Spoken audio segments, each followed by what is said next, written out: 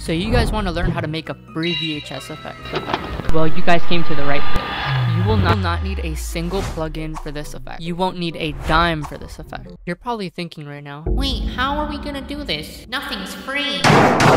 well, this method I'm showing you is free. Alright, let's get started and let's get right into the video. Alright, we're gonna go ahead and head over to this website. I'm gonna leave the link down in the description so you guys can follow along. Alright, enough. Enough is enough. So you guys want to learn.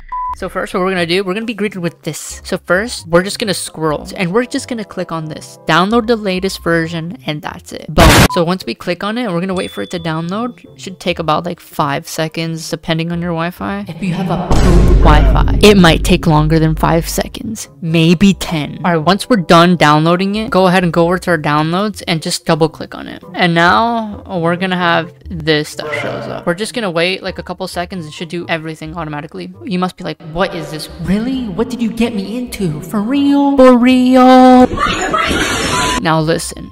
Listen, I got you guys. Mm-hmm. This is all gonna seem so easy for you guys. All you have to do is at the bottom right here, open file, just click on that and find whatever clip or footage you want, and that's it. Boom, you're done. And now you guys can go ahead and mess around with all the settings. VHS, out, sharpen, ringing power, color bleed horizontal, color bleed vertical, video chroma noise, video chroma phase noise, video chroma loss. I'm gonna insert an image so you guys can see how that looks. All right, so now that you have your clip, at the bottom right here, there's different presets for you guys to use. You guys can use this one, this one, this one, or this one. Personally, I like this one, the last one on the right, and I like to crank up composite pre-emphasis a little bit to get a little bit more brighter. I'm gonna show you guys a quick comparison of the footage right now on the screen. And also there's a free pack in the link in the description for my new VHS pack that I just released. But yeah, if you guys want to go check that out, I have it linked down in the description on my website. If you guys want to level up your edits or your footage or any of that, check out my website. I have different editing packs that you guys can get. And yeah, thank you guys for watching.